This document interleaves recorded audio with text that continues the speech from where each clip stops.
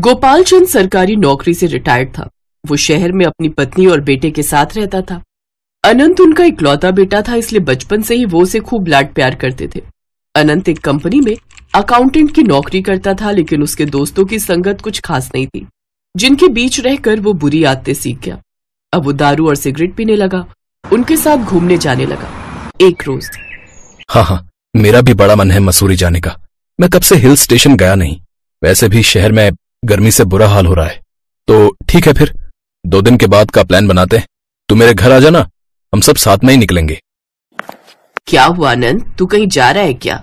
अब हाँ माँ मैं और मेरे दोस्त मसूरी जा रहे हैं घूमने के लिए। अच्छा ठीक है लेकिन ध्यान से जाना। दो दिन बाद अनंत ऑफ़िस से छुट्टी लेकर अपने दोस्तों के साथ मसूरी के लिए रवाना हो जाता है। वो सब रास्ते में खूब एंजॉय करते हुए जाते हैं। तकरीबन सात घंटे बाद वो सब मसूरी पहुँच जाते हैं। मसूरी के बाज़ार में राधा नाम की एक लड़की ठंडा ठंडा शरबत बनाकर बेच रही थी।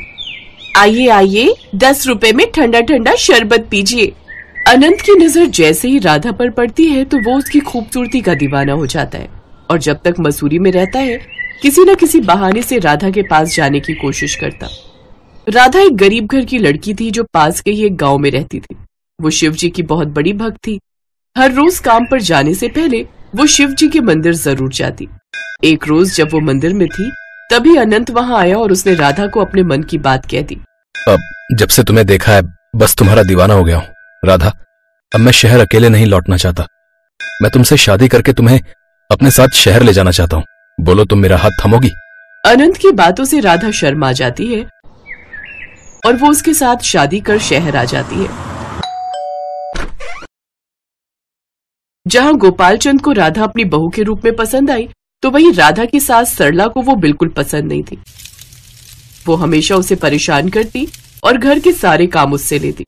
ऐसे ही एक रोज शादी के एक महीने बाद जब अनंत ड्रिंक करके गाड़ी चला रहा था तो उसका एक्सीडेंट हो जाता है। गोपाल चंद और उसकी पत्नी हॉस्पिटल पहुँचते हैं। पीछे से जब राधा को इस बारे में पता चलता है तो वो भी हॉस्पिटल पहुँचती है। आनंद आईसीयू में था और गोपाल चंद और उसकी पत्नी बाहर खड़े थे। माँ जी अब आनंद कैसे हैं? वो ठीक तो है ना? मैं एक बार उन्हें देखना चाहती हूँ।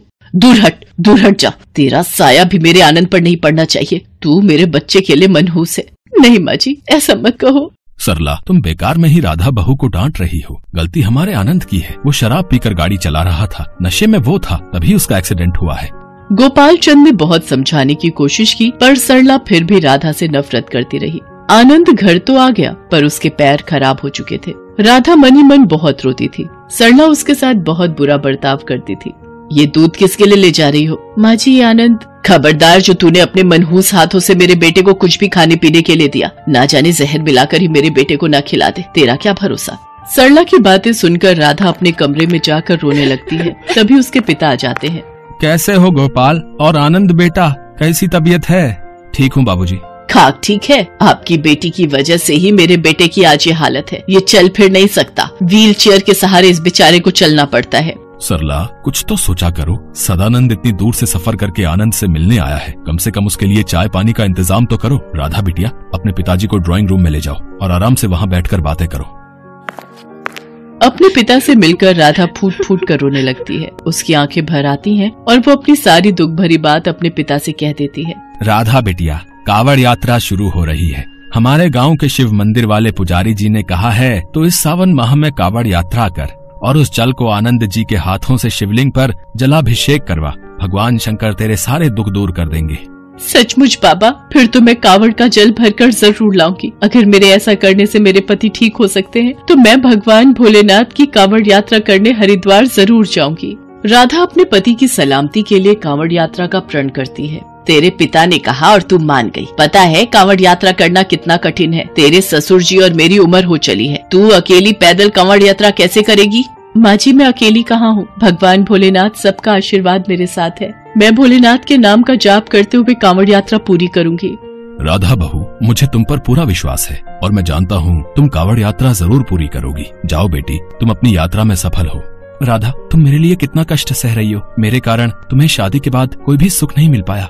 ऐसा न कहो पति के दुख सुख में काम आना ही तो पत्नी का पहला धर्म होता है और मैं उसी धर्म को निभाने जा रही हूँ। रुको अगर ऐसी बात है तो फिर मैं भी अपने बेटे के लिए कावड़ यात्रा ज़रूर जाऊँगी।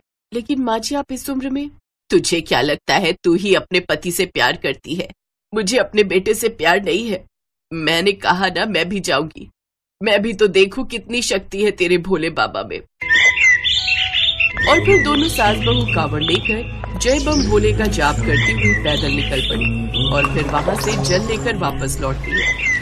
राधा को भगवान भोलेनाथ पर पूरा विश्वास था। वो आनंद को लेकर शिव मंदिर पहुँचती है। आनंद व्हील चेयर पर बैठा था। राधा शिवलिंग के पास आँखें बंद करके पूजा कर ही रही थी। तभी आनंद ने देखा राधा के पास एक काला नाग बैठा है। आनंद राधा को आवाज़ लगाता है, पर भक्तों की भीड़ में राधा सुन नहीं पाती। आनंद में एक अद्भुत शक्ति आ जाती है और वो व्हील चेयर उठ जाता है और दौड़ राधा के पास जाता है। राधा बचो तुम्हारे बराबर में नाग है। कहाँ है? कहाँ है नाग? आनंद की बात सुनकर भक्त हैरान रह जाते हैं। यही तो था। कहाँ गया? राधा मैं सच कह रहा हूँ तुम्हारे पास एक नाग बैठा था। सुनिए आप व्हील चेयर ऐसी यहाँ तक चल कर आए। आपने देखा आप चल सकते हो। हाँ राधा मैं अपने पैरों पर खड़ा हो सकता हूँ। राधा मैं खड़ा हो सकता हूँ। ये कैसा चमत्कार है?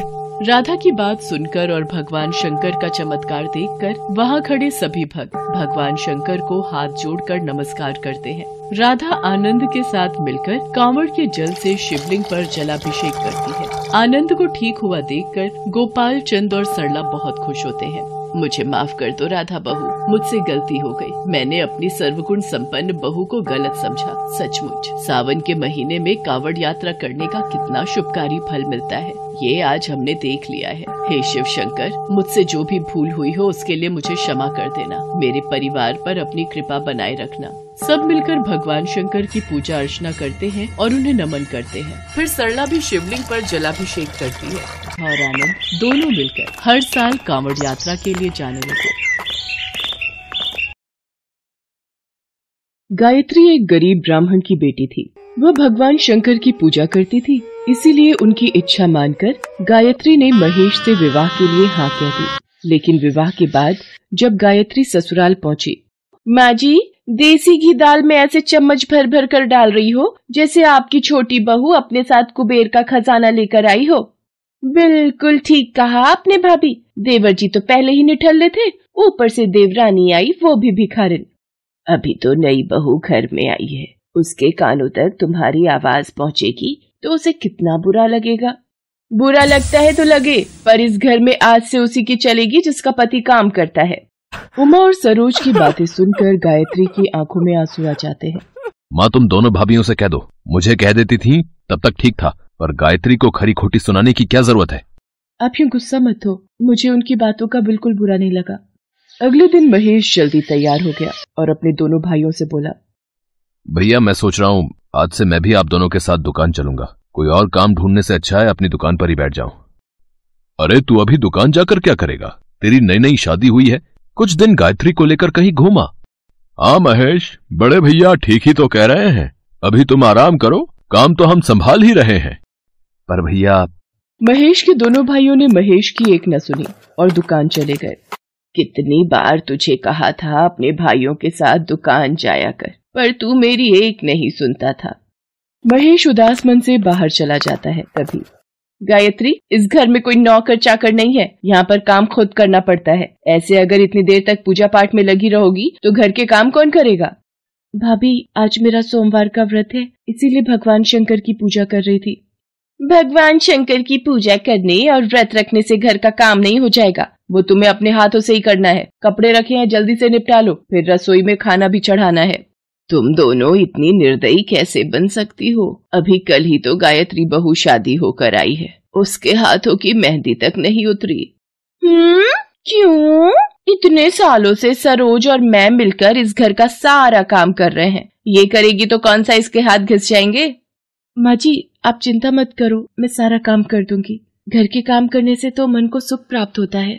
गायत्री की दोनों जेठानी बहुत कड़वे स्वभाव की थी। अब तो रोज़ाना ही वो आराम से बैठी रहती और गायत्री पूरा दिन घर का काम करती। ये बात महेश को सहन नहीं हुई एक दिन। भैया मैं आप दोनों से कितने दिनों से कह रहा हूँ कि मुझे भी दुकान जाना है? देख सुमेर सच्चाई तो यह है कि हम तुझे दुकान में से कोई हिस्सा नहीं देंगे। और वैसे भी वो दुकान मेरे और दिनेश के नाम हो चुकी है। तो उस दुकान में तेरा कोई हक नहीं है।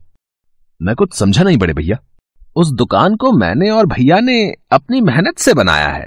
तू तो आज तक कभी दुकान गया ही नहीं। अब तू चाहता है कि पकी पकाई रोटी हम तुझे दे दें हैं? वो हम कभी नहीं करेंगे।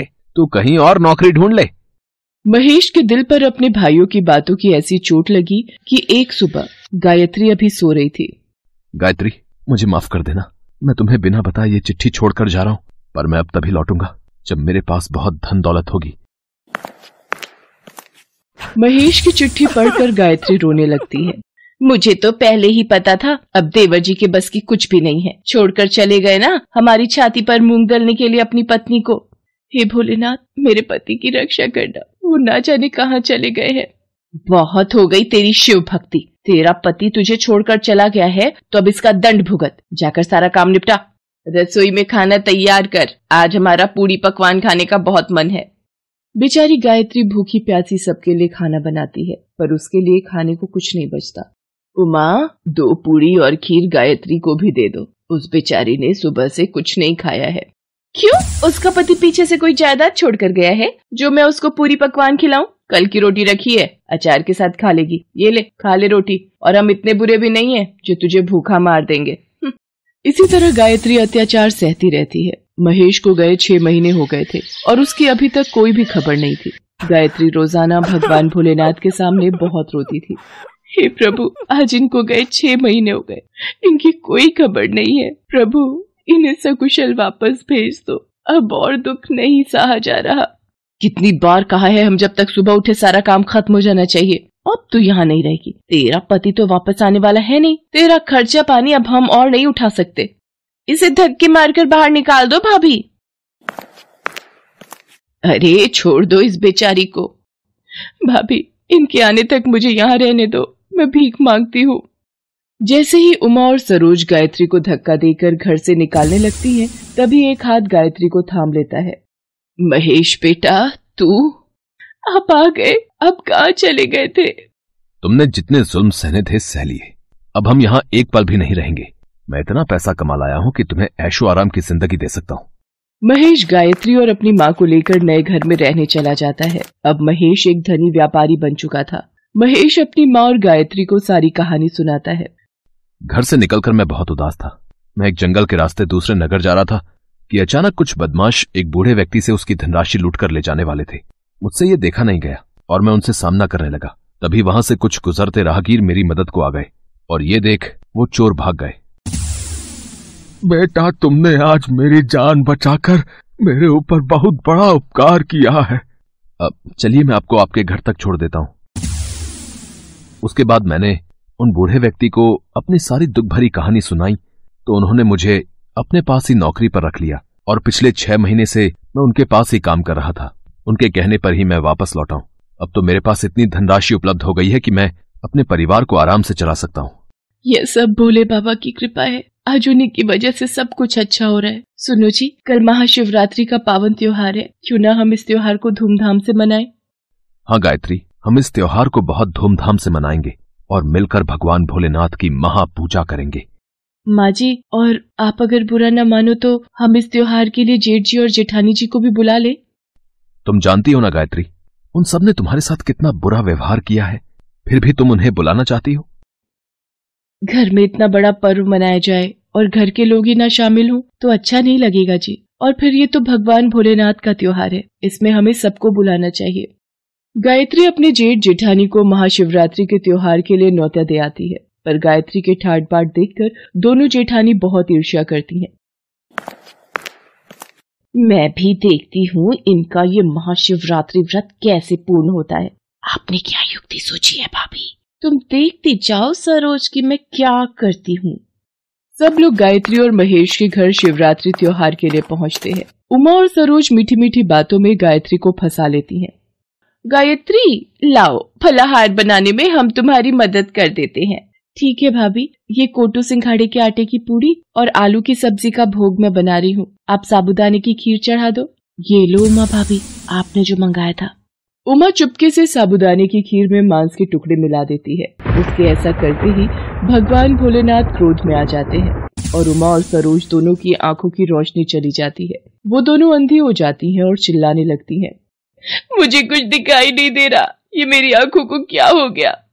भाभी, मुझे भी कुछ नज़र नहीं आ रहा। ये हम दोनों के साथ क्या हो गया? हे प्रभु भोलेनाथ, सब मुझे ही दोष देंगे। मैंने आपकी पूजा में बुलाया और इनकी आँखों की रोशनी चली गई। प्रभु, कुछ कीजिए। गायत्री के बार बार नम्र विनती करने से भगवान भोलेनाथ प्रकट होते हैं। गायत्री, इन दोनों को इनके पापों का दंड मिला है। इन्होंने तुम्हारे द्वारा तैयार किया हुआ महाशिवरात्रि का प्रसाद भंग किया। इसीलिए मैंने इनके नेत्रों की रोशनी छीन ली। ऐसे ईर्षालु मनुष्यों को ऐसा ही दंड मिलना चाहिए। नहीं प्रभु नहीं प्रभु नहीं। मेरे कहने से इन्हें क्षमा कर दीजिए प्रभु। इन्हें इनकी आँखों की रोशनी वापस दे दीजिए। इन दोनों की तरफ़ से मैं आपसे क्षमा मांगती हूँ प्रभु। ठीक है गायत्री तुम्हारे कहने पर मैं इन दोनों को क्षमा कर देता हूँ।